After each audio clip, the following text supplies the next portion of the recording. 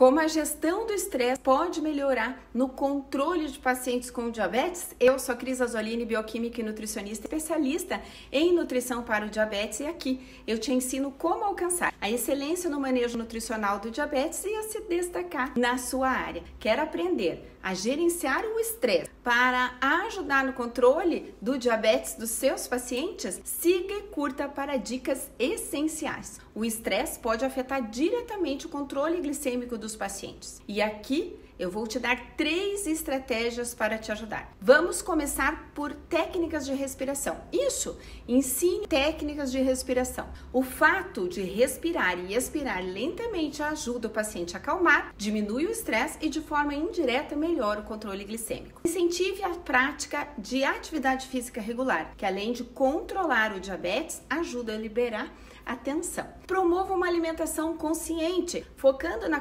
qualidade dos alimentos e no momento da refeição. Pequenas mudanças na gestão do estresse pode ter um impacto significativo no controle do diabetes. Achou úteis essas dicas sobre a gestão e o controle do diabetes? Então compartilhe esse vídeo com sua rede e vamos ajudar mais profissionais a oferecer um cuidado holístico aos pacientes. Juntos podemos fazer grande diferença.